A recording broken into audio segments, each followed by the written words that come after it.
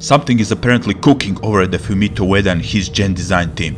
In case you're living under a rock for nearly two decades, he and his team were responsible for the very intriguing and artistic games like Ico, Shadow of the Colossus and The Last Guardian. It was only natural that this new game is on the way, and the recent gen design tweet could pretty much verify that further.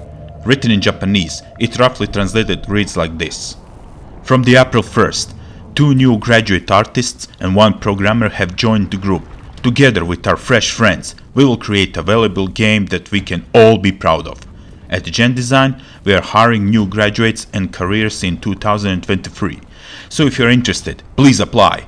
Well, a part of this being a sort of a job offering for the new fresh friends, I know what you're thinking. April 1st, you fool! But let me tell you this. See the far right crop of the image? This might be a new game this tweet is talking about, but that image was already out last year, so all of this might be legit. Now, when can we expect this game? Given the time it took to make The Last Guardian, only God Almighty knows when. But I'm sure that that game will be worth the wait.